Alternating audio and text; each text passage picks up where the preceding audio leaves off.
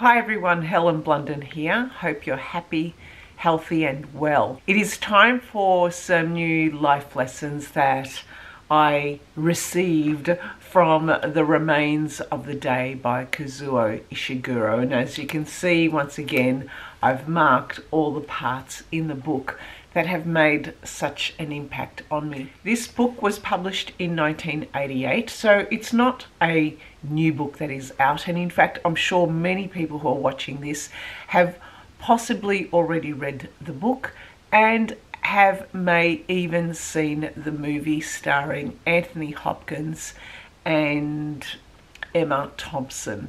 I saw the movie over the weekend. It is slightly different to the book, but please, I would recommend you read the book over the movie. Now, let's talk about some of the life lessons I got out of this book.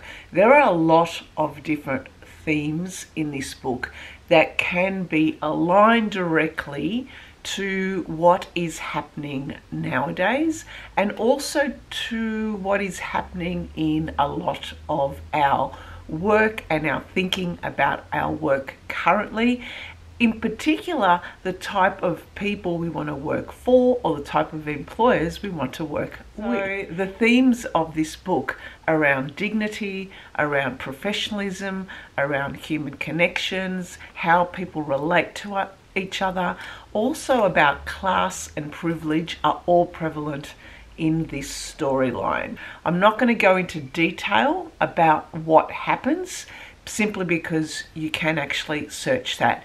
However, I'm going to pull out certain themes that I got out of this book based on the storyline. So, in a nutshell, the storyline is about Mr. Stevens, who is a butler, and he currently is serving an American guy by the name of Mr. Farraday in the Darlington estate. Now, he's an old world butler, he is a butler who values his work, he values his training, and he comes from an old world, uh, an old perspective where it is all about serving your master, making sure that whatever service that he does is all for the master of the house to be able to achieve his aims. When I was reading this book, it was, I had in my head the voice of Carson, who was the butler in Downton Abbey. And there were elements of Downton Abbey, if you've seen the show and know what I'm talking about, where there was a conflict between the movement of time and eras from one era to the next and the, the changes of thinking that happened with regards to that. In some way, there's a lot of that in this book. Mr. Stevens, this old world butler, who now has to reduce staff on request by Mr. Farraday, the American, is told to take a bit of a holiday to go away for a little while because Mr. Farraday has to return to America for a little bit of time. And it is Mr. Stevens' first time away from Darlington Estate after years and years of service to not only Mr. Farraday but his previous owner, who was Lord Darlington. And Lord Darlington in this book was someone of a, I guess, an I wouldn't say innocent, but he was a pretty naive person, especially at a time in history just before World War II in England, where England was getting ready of impending war with Nazi Germany. And so, as you can understand, the environment was fraught with people trying to understand where their allegiances lay. And so, Lord Darlington struck me as someone who was quite naive, someone who tried to appease, someone who wanted to make his mark in the world. And here we have Mr. Stevens, the butler, saying that he has nothing against Lord Darlington, his ultimate aim was to do everything to ensure that Lord Darlington achieves his aims, which is a fair enough call. And in fact, at this point in the book, early on in the book, I thought to myself that Mr. Stevens was the embodiment of a true professional. And we all know these people who value their work so much, their profession so much, that what they do to the highest level, to the highest exacting standard, they are obviously commendable people. They obviously have some kind of gene that I don't have, but who are people who can put themselves below and put their service above. So, in the early part of the book, I used to like Mr. Stevens, and in fact, I still did even towards the end of the book. But there was a certain part of the book where I started to go, oh, hang on a second. Where's Lord Darlington's allegiances lie? The more I read about the type of people that he was inviting to his estate for these so called conferences before the war, and the names that were mentioned in this book, who I then looked up on Wikipedia and saw that they too were Nazi sympathisers, I started to put one and one together and realised that Lord Darlington was somehow a pawn or somehow naive in trying to think that he could prevent war by appeasing, I guess, uh, the, both English and the Nazi interests. So at that stage, my I guess my feeling towards Mr. Stevens Stevens wavered a bit because this was the point in time where I started to question if your employer was doing something dodgy, if your employer did something that was against your values, misaligned to your own values, would you continue working for them? So, hence, this was a life lesson for me, thinking that the topic of who we work for or who we choose to align ourselves with, do we have a responsibility? Are we responsible for our employers? Or are we doing what we need to do? Now, in Mr. Stevens' case, he wanted to uphold dignity and he wanted to uphold professionalism.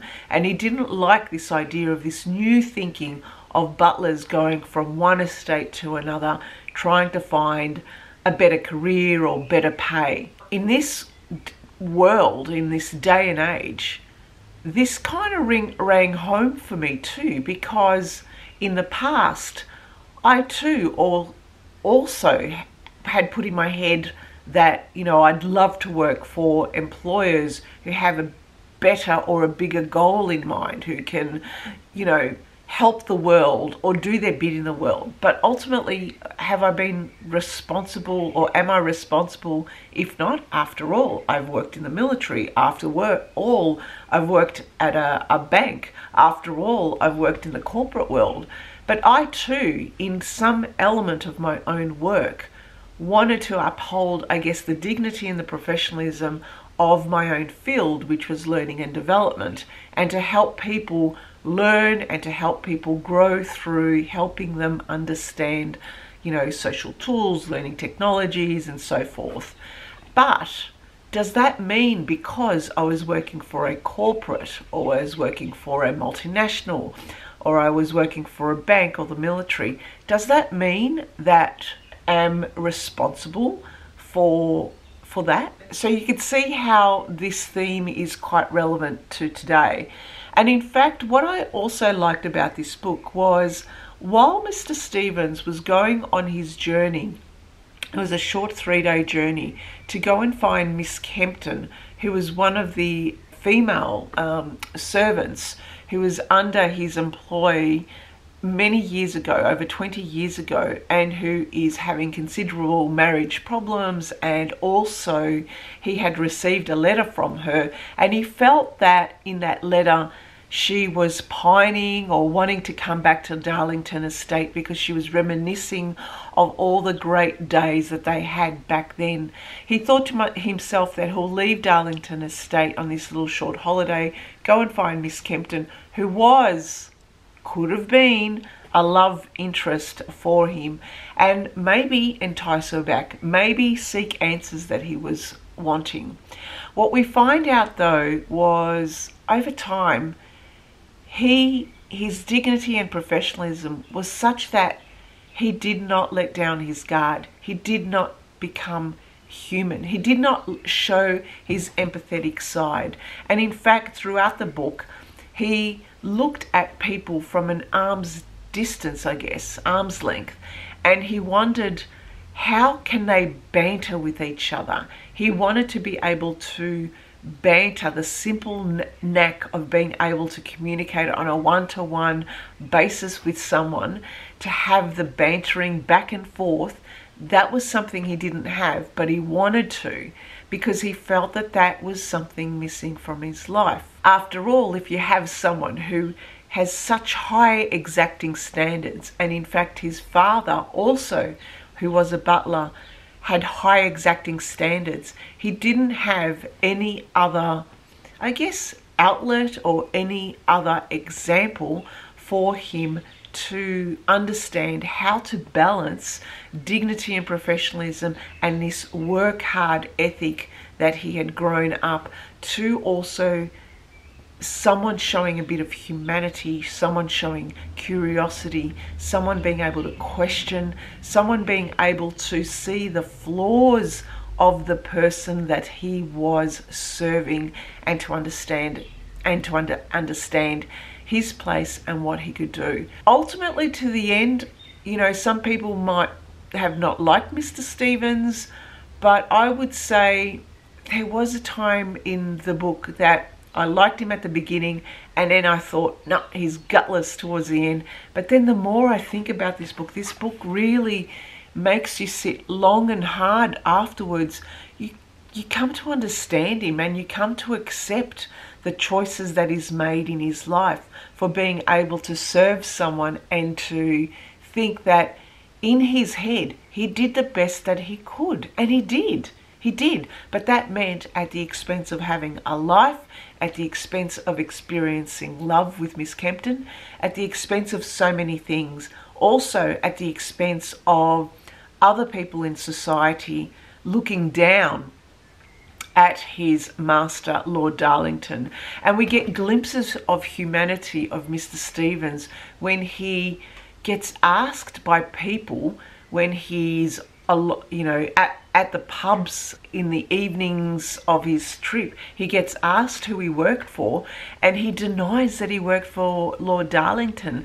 So we see little glimpses of mr stevens becoming human and realizing that Lord Darlington himself had some, I guess, flaws and he didn't want to be part of that. We see little glimmers of light of Mr. Stevens going, ah, okay, right, uh, I understand this. But ultimately, though, Mr. Stevens we see as someone who I would say was sympathetic at the end. He really understood his work. He really understood what he wanted to do in his life. He felt that he gave it his all. But now, at the remains of the day, at the twilight of the day, he has come to terms with understanding that that service meant that he had to sacrifice other elements in his life, and he accepts that well, I felt that he accepted it. So the remains of the day, he can sit back now and say, well, now it's his life. Now he can, he has an opportunity to, to change his thinking. He has an opportunity to reflect back and realize that Lord Darlington had his flaws, just as Mr. Stevens did. But Mr. Stevens also had the opportunity to at least use this time to reflect to me, he struck me as someone who was initially quite closed, quite not, I wouldn't say closed minded, but his experiences was just of service, of just of being a butler. And so when your entire world is just about that, it's no wonder I, I thought that he would want to make his entire world as good and proper he wanted it for himself. It, it, look, it is a tough one, but it, it is also one that I would say that it is relevant today. When we choose our employers and who we want to work with, we hear so much you know, when it comes to work, that we want to find people and employers who align to our values, who align to the things that we believe in, and that what we do and when we do the work for them, that we want to contribute in such a way and feel as if we've done our best work for them. So there's nothing wrong with that. so yeah, this book really made me think a lot. It made me think about my military life. It made me think about my corporate life. It made me think about wanting to work at some years ago, you know, leaving the corporate world, which I did, to work for a B corporation. And a B corporation is similarly like a not for profit, a corporation that gives back some of its profits to um, for social good. And you may have seen these B corporations around.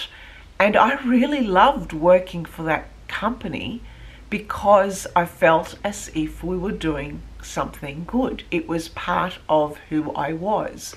That is an element of, I guess, the professionalism and the dignity that Mr. Stevens wanted for his work. Some of the other, I guess, life lessons for me was understanding, I guess, the class distinctions. It was really interesting to see that the difference of the snippets before and after the war. Before the war, there seemed to be more of a class distinction. After the war, those distinctions get muddied in some way and they're personified in the relationships and the banter that happens in the pubs in the evening when some of the people ask and assume that Mr. Stevens is a lord himself. And Mr. Stevens does not deny that. He just somehow white lies his way around who he was because I thought to myself, well, maybe he's thinking he doesn't want any conversations about Lord Darlington. He wants to keep kind of like a stiff upper lip and keep his background hidden because it brings up these awkward situations with him where he has to explain himself the actions of his employer. Who hasn't here done that and assumed and pretended to not work for someone or work for a company. I have. the other thing that I really liked about this book because it made me think about the butler's pantry. And I know this is going to sound very weird. The butler's pantry for Mr. Stevens was his place where he sat and did his thinking. That was the place that uh, he stayed in the evenings. It was his safe space. It's where he planned the staff plans and coordinated the plans. You know, there were times when Miss Kempton would come in with a with a vase of flowers and they'd have this very formal exchange of conversation. And the formal exchange of conversation, you'd realize there was an undercurrent of more meaning underneath it. But it made me think of butler's pantries. And nowadays, a lot of the big houses that are being built. I know here in Australia, these big monstrosities of houses with lots of bedrooms and huge kitchens and granite bench tops and things like that. There's always a butler's pantry, and I always wondered about that. And so the butler's pantry is kind of like a little space off the kitchen area, and I never knew what it was about and it, oh, it was strange because I thought you've got a kitchen. Why would you need a butler's pantry? What do you put in there? And people would say, oh, that's where you have your tea and coffee making facilities. That's where you, you know, you prepare your food, and that's where all the messy stuff happens in the butler's pantry. So then when you bring it out to the kitchen, that's where you can cook it all up. And I thought to myself, oh, that is really bizarre. When did we move as a society to have the butler's pantry? Integrated into the kitchen because that's where all the food preparation and food cooking was happening. And now we're having it moved outside. Are we creating, I guess, we're not creating class distinctions, but we're certainly creating, I don't know, in my head, that, you know, if you've got a butler's pantry, you've got enough money to be able to keep your kitchen area separated from the meal preparation area. Isn't that what kitchens are about? I didn't have a butler's pantry. My kitchen is a big, big mess. So I had to kind of think, isn't it weird that as part of society now, we're creating these big, big homes and creating these little storage facilities and places that used to be in the grand estates and uh, in in England and all over the world and we're now creating them in our homes for whatever reason. So yeah, very interesting. So that is all I have to say about the remains of the day. I would say this is now one of the top top books I have read this year and indeed this is going to be one of my top books of all time. I would highly recommend it. It is a beautiful book. It is written beautifully and I would say the Booker Prize for this is well deserved. So thank you for listening and thank you for watching. Bye for now.